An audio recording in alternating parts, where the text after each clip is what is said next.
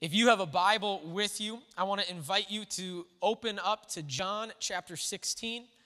John chapter 16 is where we're going to be. We are continuing in our series this morning that we have called Go for the Gold. All right, it's a pretty simple idea.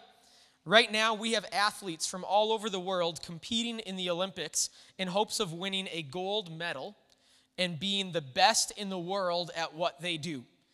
All right, and they've spent thousands of hours preparing for this moment. Uh, their dedication to their sport is basically unparalleled, kind of in our modern day, uh, by almost anything else. All right, I'm not going to go in and ask how many of you guys watched the Olympics this week, because I did that last week, and you guys all hate the Olympics. All right, I was like the only one. So, in the first week of this series, uh, we looked at a passage from First Corinthians, and, and Paul said this, and this passage is important because it kind of sets up this whole series. 1 Corinthians chapter 9 verse 24 he says don't you realize that in a race everyone runs but only one person gets the prize? So run to win. All athletes are disciplined in their training. They do it to win a prize that will fade away but we do it for an eternal prize. All right paul's saying these athletes are so incredibly dedicated and they put in tons of time and effort and work and for what? A prize that will waste away like if they're lucky, they get a little piece of metal. If they're lucky, like that, sorry, not lucky, if they're good. There's not too many Olympic events that are based on luck. All right, and, and Paul's saying these, they are so incredibly dedicated. As followers of Jesus, we are running after a prize that is eternal, that will never fade away. And considering this, shouldn't we be putting in even more work than they are? Uh, that's what he's saying. Shouldn't we be doing even more? But most Christians nowadays, I, I, don't think we could describe our walk with Jesus in the same terms that an elite athlete describes their dedication to their sport. So we've been following this idea of athletics and dedication using modern day Olympic events to parallel what our walk with Jesus should look like, and we are going to continue that today. All right, now I'm excited for today. I think that uh, today has it has the potential for some of us in the room to really change the way that we look at life and approach life. All right, and it could be a game changer for you in the way that you live every day. All right, and so I'm, I'm excited for this. I want us to be ready just for God to speak to us and say, all right, you know what? We, we need a new outlook. We need a new view on how we do this. So let's be ready to hear from God. Uh, if you're willing, if you're able, would you stand with me across the room as we read our passage today? So we are in John chapter 16. This is starting in verse 31. Jesus asked, Do you finally believe? But the time is coming. Indeed, it's here now, when you will be scattered, each one going his own way, leaving me alone. Yet I am not alone because the Father is with me. I have told you all this so that you may have peace in me. Here on earth you will have many trials and sorrows, but take heart because I have overcome the world. God, we pray that you would just right now begin to soften our hearts. Lord, make us ready for whatever it is that you want to speak to each one of us individually. God, we pray that these would be your words that we are hearing this morning. We ask this in your name. Amen. All right, you guys can have a seat. Do we have any former, or I guess current, track stars? Uh, we'll lower that. Track runners in the room. Okay, we got a few. We got a few. Or maybe you just like to run for fun. All right, there's something wrong with you people. All right, okay. I, I, has anyone participated cross country? Anyone done a marathon? Okay, we got some marathon people in the room. That's impressive. All right, running is one of those competitions that it's just like so pure. Right? Like you know what I'm saying? Like it's just it's just running. It's classic. It's basic. It's elementary. It's what you do on the playground in elementary. Like let's just run. All right? Let's see who's the fastest. All these different things. Like running is just so so pure. I don't enjoy running all right like i i need something to do so i joined soccer because then i at least can chase a ball all right and, and there's like something to do in, in high school i also played tennis uh, but our school was kind of poor and they ended up cutting the program so my spring sport of tennis was cut so instead i joined track because i love to run no because they missed a lot of school all right? And I've said that before, and I just, I'm not ashamed of it, all right? But I couldn't just run, even in track. I'm like, I'm not, I'm not just gonna run around this track. So the things that I did, uh, I, I was like a long jumper, all right, which I wasn't very good at. I'm pretty short. All right, I was a long jumper. Then I did the triple jump, because that's like long jumping but cheating. You just get to keep jumping, all right? And then I did do a relay, because at least then I have like a baton in my hand and I'm like chasing somebody, right? And then the, the last thing I did was I joined hurdles, all right? They were not this big. This is actually the height of, of men's 110. I don't know if you knew that, but the, the height of the hurdles change based on how long you're running and who's doing the running and the age they are. That's crazy. Um, and, and hurdles is interesting. All right, it is essentially just running a race with barriers and obstacles in your way. Like that, that's what it is in its most simple form. All right, and, and hurdles started somewhere between 18 or around 1830. And when it started, it was, we will say, very primitive. All right, it wasn't our modern hurdles that we have today. It started as just wooden barriers. Okay, like you look at this bottom corner, like that's just like a pallet. Like they just put like pallets out there or something and they started jumping over them. So you can see these different hurdles that they had. Uh, um, and if you ran into a hurdle, okay, look at these ones. If you ran into this hurdle, the hurdle is not going down. You are going down. All right, like you are going to be stopped dead in your tracks. They were not forgiving. Well, hurdles became pretty popular and they made it into the first modern Olympics in 1896. But prior to the first Olympics, they changed the design of the hurdle, made it a little bit more forgiving. And I believe that's kind of almost what you see, kind of maybe bottom left, top right. It's still, though, it has a brace on the other side. If you hit it, it's not really going anywhere. But it's a little more forgiving than a pallet. All right? So, and then actually, 1935, they developed this L shape that they have here. And, and if you have ran hurdles before, you don't run this way, you run this way. So that if you hit them, they kind of fall, but they're weighted, they're pretty heavy. And they became a little more forgiving. Well, when this happened, people became a lot more strategic in the way that they ran hurdles. All right, it wasn't just running and jumping over something. All right, they started to map things out better. Like you can see, um, especially for this bottom left one, like people used to when they jumped over hurdles, they basically just kind of tucked their feet underneath them and I don't know, did that.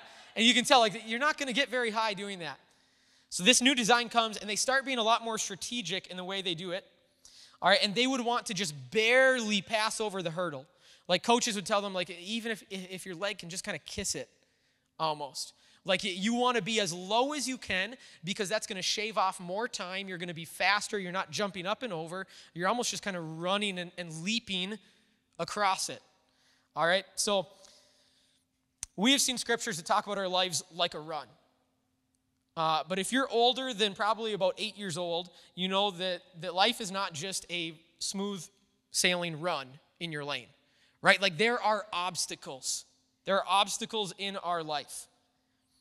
Our passage that we opened with was Jesus and one of the promises that he gives us, uh, his followers. And he promises that we will have trials and sorrows, is what we read. Other translations will say, You will have trouble, you will have distress, you will have suffering, oppression, affliction, difficulties, persecution. Life will be tough. How many of us are excited about this promise from Jesus? Right? Like, yeah, that's the promise I'm going to cling to. That sounds great. It doesn't matter, it's a promise, whether we like it or not. Like, this is what we are told. And I have found this to be personally true for me. Uh, and it's not just Jesus that says this. All over in the New Testament letters, it is talked about as a guarantee that we will have obstacles. It's, it's just a given. Second Timothy says, Yes, and everyone who wants to live a godly life in Christ Jesus will suffer persecution. So we will have obstacles, we will have barriers. That is a guarantee in your life and in my life. Sometimes those barriers are, are our, own making, right? Like we make a dumb choice, and all of a sudden we have some obstacles in our life. Uh, we choose to live a certain way. We, we make a trade off in life. We make one decision, and there's, I don't even want to say consequences, because not all barriers are consequences. Sometimes just you make this choice, well, this is what happens. This is the outcome. These are the things that are now in your life. Sometimes we just have natural barriers in our life. Maybe because of the family that you were born into. There are certain barriers that the person sitting next to you maybe doesn't have. Sometimes because we just live in a fallen world and there's sickness and disease and death and, and all sorts of things that there, there are barriers. Sometimes other people are actively trying to hinder us. If you've ever been there, someone is trying to sabotage your life. You have a coworker that just has it out for you. Or maybe Satan is actively trying to hurt you. Like we, we see that in Scripture. But I want to do this today. I want us to understand a few things about this so that we can live our lives uh, in a way that understands that we will have obstacles, but our walk with Jesus isn't hindered by them. Right? Like, I think we can live our life in that way. Now, normally I try and make sure that my messages have a singular passage that we look at and we dive into and we look at the context and who wrote it, who did they write it to, why did they write it, what was the context of it, uh, what did it mean to the first readers. That is incredibly important to do. All right, so much damage can be done by just taking little verses out here and there and making them say what we want. All right, uh, people use scripture to support what they think instead of allowing scripture to form how they think. And that can happen. And so we try and avoid that by really just sticking on one scripture and diving into it. But today, I'm going to use a few verses from a few different spots. Uh, and I believe that they're going to be in the appropriate context, but I'm not going to be going into all of that context for us today. All right, and, and, I'd actually even go as far as saying is if you feel like there's a verse today that is used outside of that context uh, and, and is used inappropriately, please call me, email me, message me. Let's talk about it. Like, we, we always want to make sure that we are true to what the Bible says and we aren't twisting any scripture to make it say what we want it to say. Because you can do that. You can make an argument with just about, for just about anything by grabbing scripture and doing that. All right, so that's a quick side note. We know that we are guaranteed difficulties, we're going to have obstacles. As we run our race, there are going to be hurdles in our lane. But there are some things that we can do to make this work for us. All right, the first one is this if you're taking notes, we need to glean from each hurdle. Now, this word glean might sound weird, like I was just trying to be smart and I typed in something else to a thesaurus and grabbed that one. Uh, but I chose this for a reason, right? Like I, I kind of wanted to say we need to grow. I, I kind of wanted to say we need to learn. And I feel like glean kind of pulls those two together a little bit better. Uh, actually, the word glean comes from the idea of picking up leftover grain. Like someone goes out and cuts grain and there's grain left over. Gleaning is picking that up and adding it to what you have. Actively going out, making that choice to pick it up, add it to what you have. All right? I don't think we always naturally just grow from difficulties. We need to make a decision to grow and learn from it. So every time we face a difficulty, every time we face a hurdle in our life, we need to learn and grow because of it.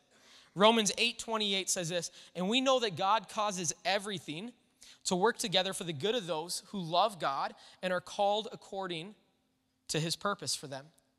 So, when something happens in our lives, when something bad happens, when we have a hurdle, God is talking what could have been bad or is bad, and He is causing it to have a, a positive effect in our life as well. And we don't always see that, usually because we are so focused on the negative situation in our life that we don't see the potential positive that could be happening there. All right, and so we need to shift our perspective. We need to see things differently. For someone who runs hurdles, the more they do it, the more they practice, the better they will get. All right, it's just like anything else in life. Every hurdle that they jump over will now make them better and more prepared for the next hurdle. Does that make sense? All right, and before they ever run in a race, they have probably passed over thousands of hurdles. Every time we face a difficulty, if we are gleaning from that experience, we will be more prepared for the next one. In fact, we should reach a place where we are expecting the next hurdle. We know it's coming, right? We are promised this in our life, so let's be ready for it. That way, our faith in God isn't completely shaken every single time some difficulty happens because we are expecting it.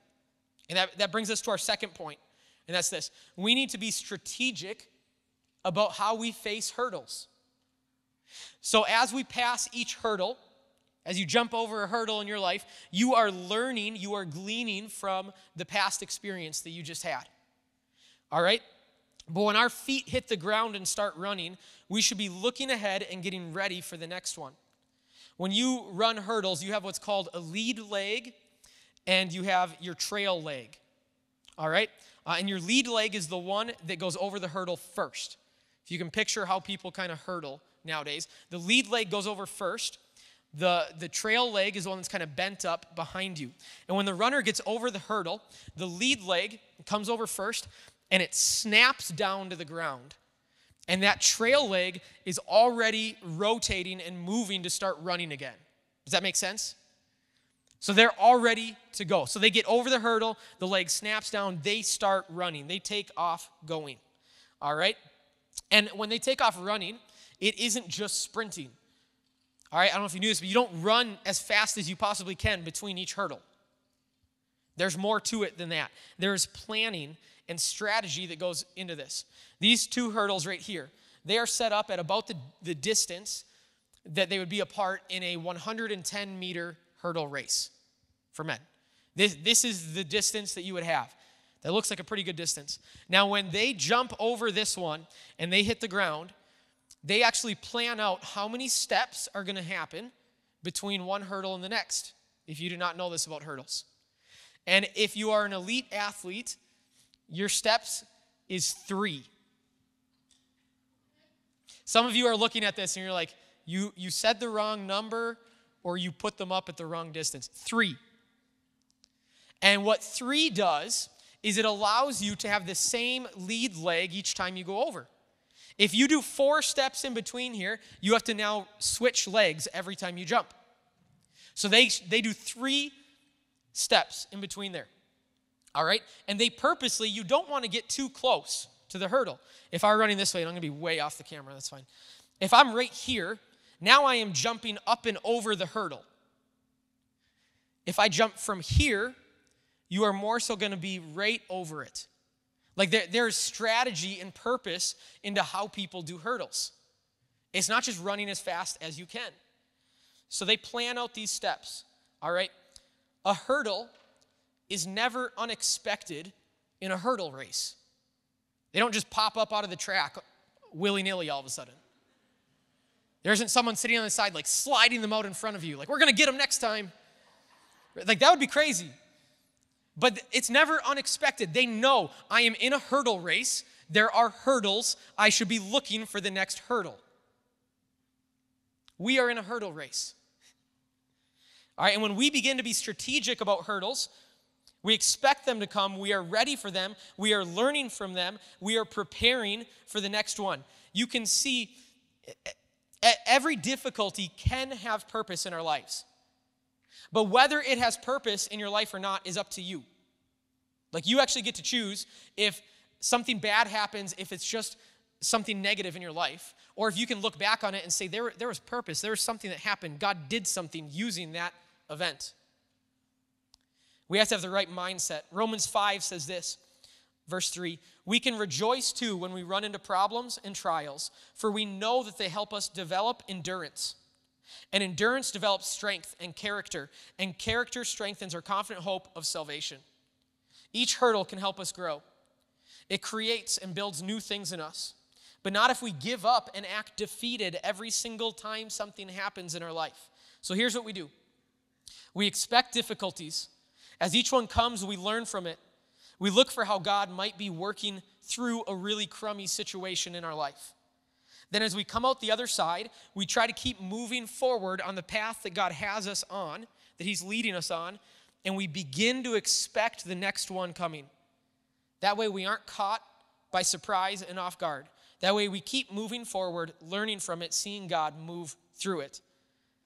And life is like this over and over. All right, sounds exhausting. Life can be exhausting sometimes. How many of you guys know that there are exhausting seasons in life? Usually they coincide when there's a lot of hurdles in life. But when we have the right perspective, we just keep following the lane that God has put us in. He gives us the strength to move forward. Now, I'm not downplaying some of the difficulties in life either.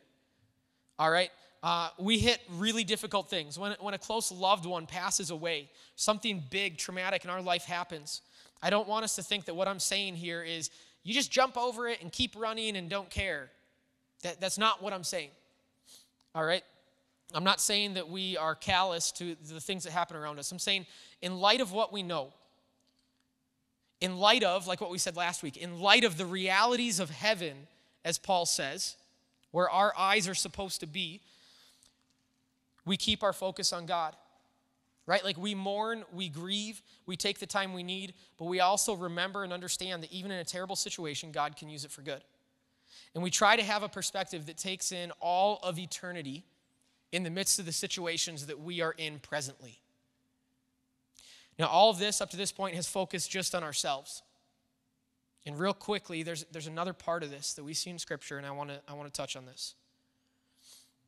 There are people, billions of people, running their race in the lanes next to us.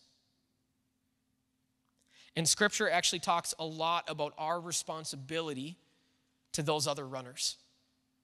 It talks about how we impact those around us that are followers of Jesus and those that aren't followers of Jesus. 2 Corinthians 6. These aren't even going to be on the screen. There's so many of them. I'm going to read through them fast. We live in such a way that no one will stumble because of us, and no one will find fault with our ministry. 1 Corinthians 8. But you must be careful so that your freedom does not cause others with a weaker conscience to stumble later in that chapter. So if what I eat causes another believer to sin, I will never eat meat again as long as I live. That sounds awful. For I don't want to cause another believer to stumble. Romans 14. So let's stop condemning each other. Decide instead to live in such a way that you will not cause another believer to stumble and fall. In the book of Acts, James gets up in front of the other apostles. And, Paul and Barnabas have been talking about how the Gentiles are finding Jesus. And it's this amazing thing non Jewish people finding Jesus. And they're talking about this, and should we make them follow all of our stuff? Should we not? And James gets up and he says this. And so, my judgment is that we should not make it difficult for the Gentiles who are turning to God. It shouldn't be difficult for them to find Jesus. Right? Like, there were people that were saying they need to follow all of our rules everything we have for eating, everything that we have for cleanliness, everything that we have for worship. They need to follow our circumcision rules, everything like this. They're trying to put all of this on the Gentiles, and they're saying, no, stop, stop putting hurdles in front of other people, especially when they aren't necessary. So, as followers of Jesus, we need to not be putting stumbling blocks or hurdles in front of others, believers or non believers. Well, how do we do that? Usually, we do it by adding to the gospel. All right? We add extra requirements to be saved that aren't actually in the Bible. you might be thinking, that's terrible. Who would do that? Well, we do it all the time. Like we don't realize it sometimes. All right? Many times we take this small truth or a good idea and we blow it up into this big thing and think everybody should follow this. All right, if you want to be a follower of Jesus, you have to act this certain way. Well, yeah, okay, scripture talks about the way that we should live, and we probably should look different from the rest of the world. The way we act should look different, for sure. But are we allowing somebody to actually have the time for the Holy Spirit to work in them and the Holy Spirit to be the one that's prompting them to live in a different way? Or are we saying from the get go, like when you walk through the doors of our church, this is what you need to look like? I don't think that happens as often anymore. Kind of like there used to be this thing like when you go to church, you have to dress like this, you have to look this way, you have to wear your Sunday best. That's, that's nowhere in the Bible. Now, I've talked with people and they have a good heart. They're like, I want to give my best to God. I'm like, that's awesome. You keep doing that then. But stop telling other people that they have to do that. It's not in the Bible anywhere. That's, it's, it's not a thing. We had board members at my last church that like we had challenged them. We want you to be inviting people to church. One guy came back, he said, I invited several of my coworkers. You know what every single one of them said? I know how your church dresses and I don't have the right clothes. Uh, does that just break your heart? That someone can't find Jesus because they don't have the right clothes? Our pastor actually was like, all right, I'm going to stop dressing the way that I'm dressing. Like, I like dressing this way, I like dressing up, but I'm going to start wearing other clothes if it means people will find Jesus because we are unknowingly putting hurdles in front of people. All right, one of the biggest ones nowadays. If you're a Christian, you have to vote a certain way. Now, understand that there are some things that have become political and part of our world that the Bible has a lot to say about. Absolutely. So we should be listening to the Bible. But unfortunately, neither political party in the U.S. is based on Jesus. So neither of them perfectly line up. Right? Like we have a broken system, a system that isn't built on Jesus, and we are trying to walk out our faith inside of a broken system. And that's why you hear followers of Jesus on both sides screaming very loudly about the issues that are very close to their heart. And people say, How can you vote for that party when they stand for this, this, and this? And the other party yells the same thing back. How can you vote for that party when they stand for this, this, and this? It's okay to have beliefs and convictions, and it's okay to vote based off of those. All right, I want us to understand that. That's okay. What is not okay is to tell someone that they cannot be a Christian, they cannot follow Jesus if they don't vote the same way as you. It causes one more hurdle to be in the way of people finding Jesus. Our world and society is built on divisions, and we need to be careful to not deepen those divisions, especially if it would hinder someone from finding Jesus. All right, we trust that the longer we follow Jesus, the longer we run this race, the more we grow, the more the Holy Spirit works in us, and hopefully the more we look like Jesus and not look like this world. But if we aren't careful, we end up throwing hurdles in front of other people and making it way more difficult for them to either follow Jesus or even to find Jesus. Can we stand across this place? Taylor, you can come. In this past little section, the last two minutes here, you might be upset. there might be more than a few people in the room that are not happy with some of what was just said. All right, and I realize that. Understand that I am trying to convey the heart that we see in Scripture of what Paul is saying. Because I'm trying to be respectful of time, that probably deserves way more talking points. And I just threw it out there like a big steak into a lion pit, all right? And some people might be like, oh, you're getting an email this week. all right, I'll use Kyle's joke. My email is corey at rlcmn.church. All right, take everything that was said. I want to boil it down into this. We run our race expecting obstacles. All right, we don't necessarily try and fight against them. We don't try and get rid of them. We don't try and like do all these different things and worry just about the obstacles in our life. Even though oftentimes we do. Think about our prayer life. How often is our prayer praying for these to disappear? Pretty often. Is that a bad prayer? Uh, probably not. But we focus so heavily on that. Instead, what, what if our perspective changed and we saw these as growing opportunities? And we said, God, give me the right perspective to see what's happening, to see how you're moving in this situation. All right? And the second part of this so we run our race expecting obstacles, and we fight to remove obstacles from others. That's, that's, that's a change. Often we fight to remove obstacles from our life. I'm saying, no, we don't do that. We fight to remove obstacles from others' lives. All right, in the morning on Sundays, we get together, everyone that's serving, all the volunteers, we have a volunteer meeting. And, and a little thing that, uh, illustration that I've said quite a few times is this every person that walks through our doors, has some amount of a wall between them and God. Right? Like probably even most of us in this room. Maybe your wall is small enough that it's not a big deal. But we have some type of wall between us and God. And that wall is filled with all sorts of bricks. Bricks that maybe we have put there, bricks that Christians have put there. They walk through the doors of a church and they say, I had a Christian treat me this way. And that's a massive brick between them and God. I had a church and they hurt me they hurt me this way, and that's another brick in between them and God. And they have this wall.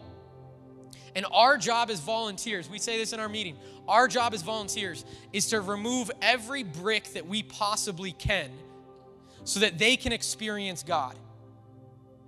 That's what our role is.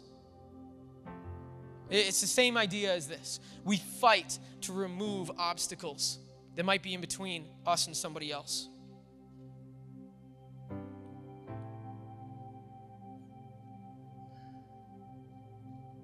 Too often we ignore how our actions impact the world around us in a negative way. We need to be more aware of that. Too often we have expectations for other people walking through the doors of a church, trying to find Jesus. And those expectations might be unrealistic or, or even unbiblical. So let, let's get the right mindset this morning. Let's be dedicated to this. Let's put in the work like an athlete would put in the work and be thinking about how, how we maybe unintentionally have put barriers in front of others. Now, I want to I wanna pray. We're reaching the end here. We're going to close in prayer. But I want to do this. Just kind of, can we just close our eyes in this room? And for a moment here, I want to pray over a couple different groups of us. The first one would be this How many of you are in the room and you would say that there, there are some major hurdles in your life? All right, maybe you've had a, a really crummy situation that you've been walking through. Maybe there's something from the past. But you would say, right now, I'm running my race the best I can. I'm trying to live for Jesus, but there are some major hurdles and I am exhausted. How many of you guys would say that that's you? I'm not going to ask you what your hurdle is, anything like that. Yep. Yep. A lot of hands. And I want to pray over that group in just a moment. How many of us would say, you know what, as I think about this, I, I might have some areas in my life where I have caused hurdles for other people around me, and I need to rethink the way that I do things, say things, live things out. Is there anyone in the room that would say, that's me, and I need to stop putting hurdles up for others? Yep. Yeah.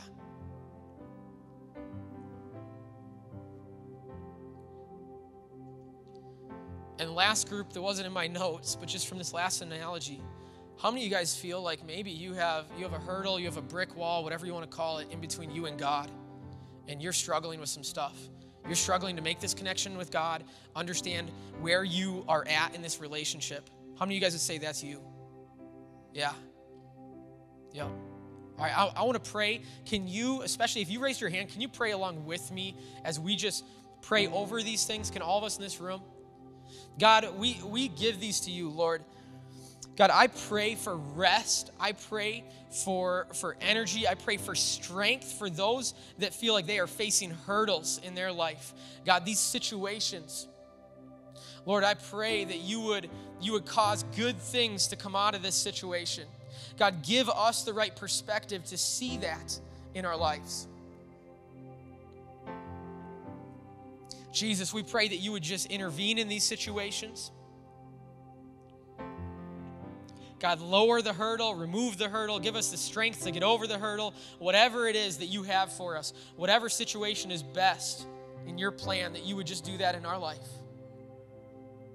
Jesus, I pray for, for those of us that feel like maybe we've done a poor job of removing obstacles from others, and, and maybe we've gone as far as, as accidentally or purposefully throwing hurdles in front of others.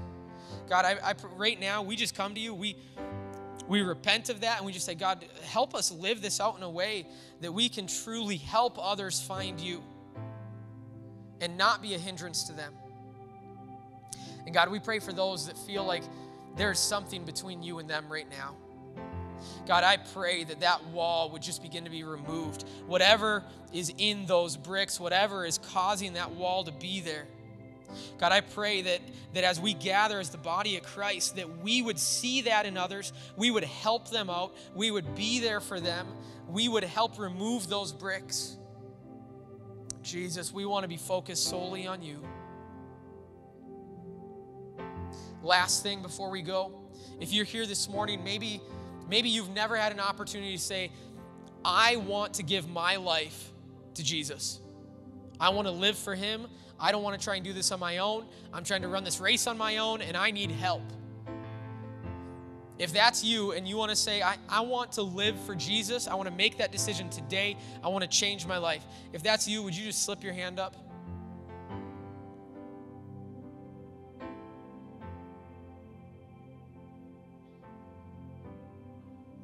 If this is a decision that you have questions on, you're maybe wondering about what this would look like,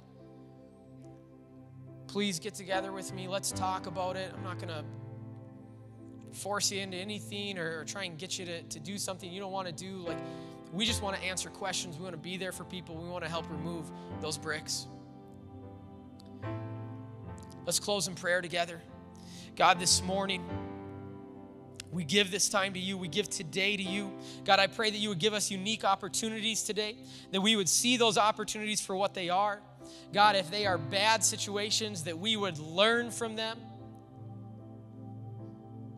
God, that we would have the right mindset that we aren't just taken down every single time an obstacle comes in our way.